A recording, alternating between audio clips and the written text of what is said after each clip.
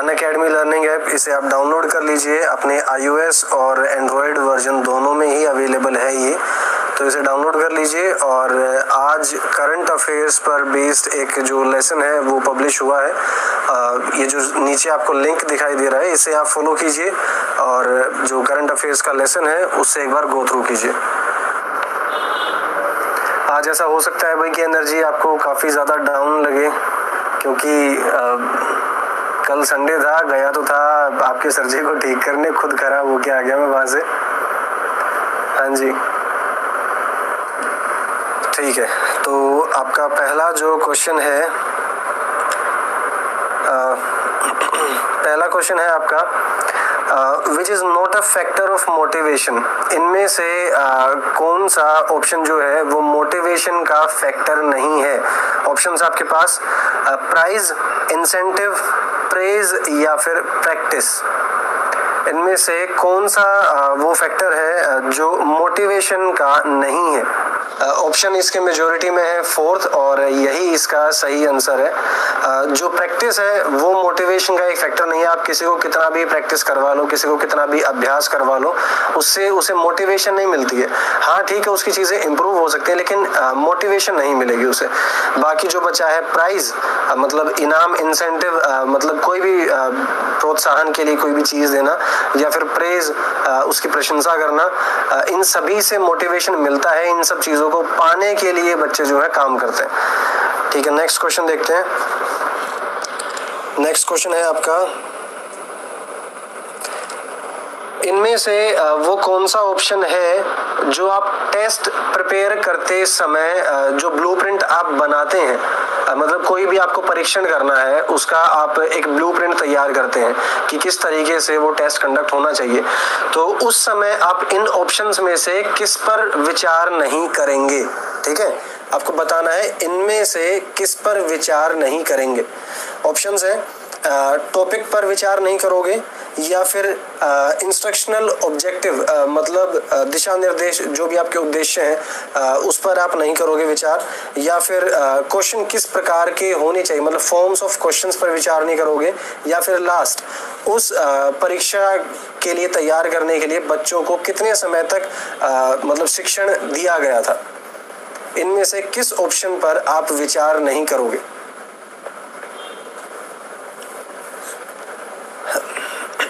Options सुनने के बाद, समझने के बाद ही इसका आंसर दें। फोर्थ की मेजोरिटी भाई क्लियर मेजोरिटी है और यही इसका सही आंसर है। अब थर्ड क्यों नहीं होगा, वो भी एक बार बता देते हैं आपको। देखो आ, किसी भी परीक्षण के लिए आप किसी भी प्रकार के प्रश्नों का उपयोग कर सकते हैं पूछने के लिए। लेकिन आ, आपको ये भूलना पड़ता है कि वो टॉपिक करवाने के लिए कितना समय दिया गया था।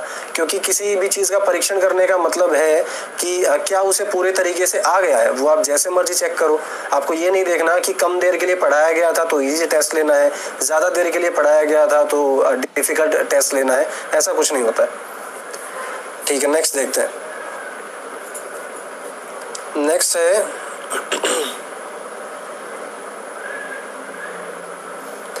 इनमें से which which is different from other three with respect to fine motor movements मतलब ये कि उत्कृष्ट मोटर मूवमेंट्स मतलब uh, इनमें से आपको बताना है कि मैं तीन ऑप्शन दूँगा आपको।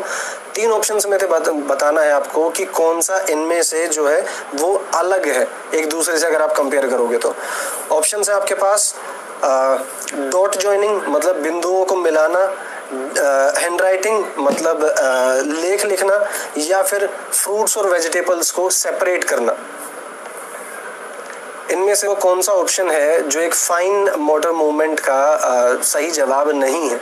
इसका आंसर जो है वो थर्ड ही है मतलब आप किसी भी चीज़ को सेपरेशन मतलब आ, दो से दो थोड़ी बहुत भिन्न चीज़ों को जब आप अलग कर रहे हैं तो वो फाइन मोटर का पार्ट नहीं है फाइन मोटर मूवमेंट का पार्ट नहीं है। बाकी जो भी आप करते हैं आप डॉट्स को ज्वाइन करते हैं या फिर हैंड राइटिंग आप कर रहे हैं तो वो सब जो है फाइन मोटर पार्ट्स का ही एक आ, हिस्सा है। हाँ जी। ठीक है नेक्स्ट क्वेश्चन है what type of evaluation identifies learning deficiency and difficulties of the learning uh, learner?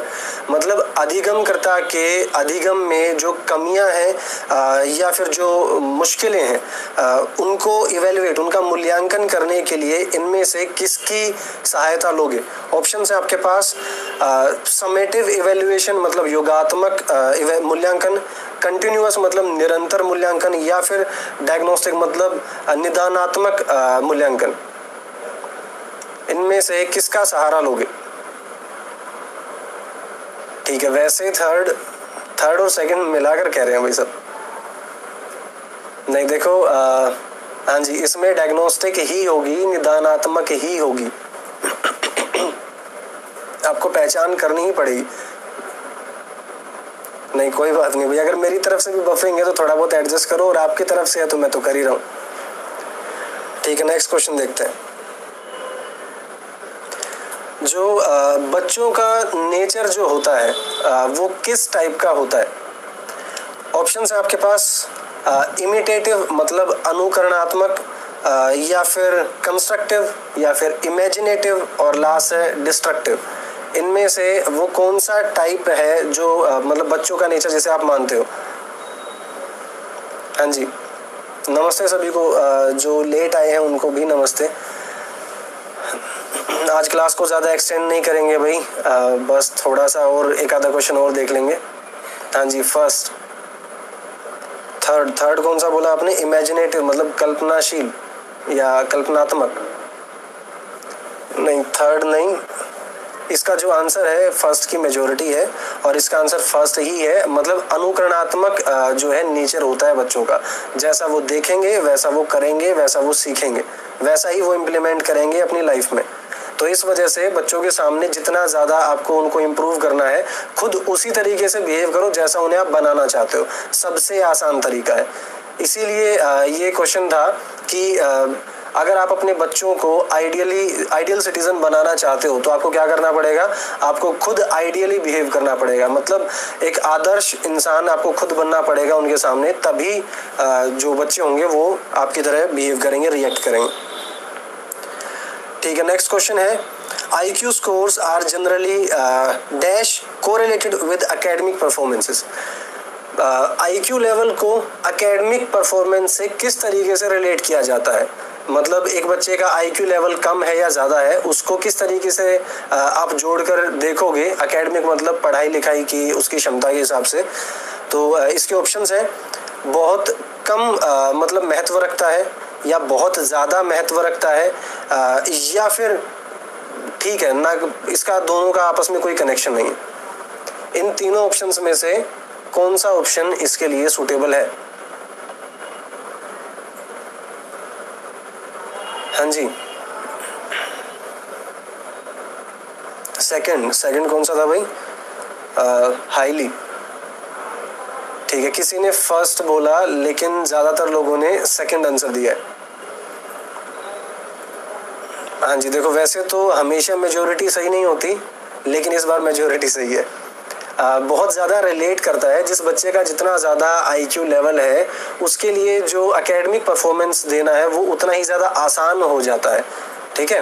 हाँ जी। उसके लिए उतना ही आसान होता है, वो उतना ही चीज़ों को जल्दी ग्रैप कर पाता है मतलब सीख पाता है, समझ पाता है। इजीली मतलब बहुत ही सुलझे हुए तरीके से वो बिठा लेता है अपने दिमाग में। और जिसने अपने दिमाग में बिठा लिया है, वो उसी तरीके फिर परफॉर्मेंस भी दे सकता है। ठीक है नेक्स्ट देखते हैं। नेक्स्ट क्वेश्चन है आपके लिए।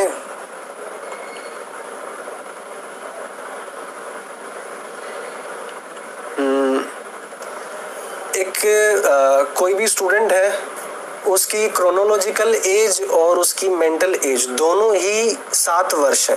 तो आपको उसका आईक्यू लेवल बताना है कि उसका आईक्यू लेवल नॉर्मल है या बिलो नॉर्मल है या फिर नॉर्मल से ज़्यादा है। मतलब उसकी मानसिक आयु और उसकी शारीरिक आयु दोनों ही जो है वो सात वर्ष है। तो आपको बताना है कि जो उसका आईक्यू लेवल है, वो नॉर्मल है या नॉर्मल से कम है या नॉर्मल से ज़्यादा है? हाँ जी। नॉर्मल इस वजह से आज की क्लास यहीं रोक देते हैं। बाकी लाइव में सिर्फ़ इसलिए आया था ताकि आप लोगों को वेट ना करना पड़े। काफ़ी आप में से ऐसे हैं जो व्हाट्सएप ग्रुप पर हैं और उन्हें मैं अपडेट कर देता हूँ, लेकिन फिर भी बहुत सारे ऐसे हैं जो ग्रुप में नहीं है तो उन्हें अपडेट करना थोड़ा सा मुश्किल हो जाता है। तो जो नहीं है, उनके लिए मैं व्हाट्सअप नंबर बता देता हूँ। व्हाट्सअप नंबर है plus one four two three four four six three four eight nine इसे कंप्लीट आप सेव करेंगे तो आप व्हाट्सएप कर सकते हैं इस नंबर पर। ठीक है? हाँ जी जो क्लास का टाइम है वो आठ बजकर पाँच मिनट है शाम को। तो मंडे से सैटरडे तक इसी समय, इसी टाइम मिलते हैं। और आज के लिए इतना ही। फ़िलहाल गुड नाइट अपना भी ध्यान रखो और मैं तो कोशिश करता ही ध्यान रखने की अपना। तो ठीक तरीके से तैयारी करते रहो और देखो कोई कुछ भी बोलता है लेकिन इतना तो मत बोलो भाई। ठीक है? हाँ जी। चलो गुड नाइट टेक केयर और पढ़ाई अपनी जारी रखिए ठीक से।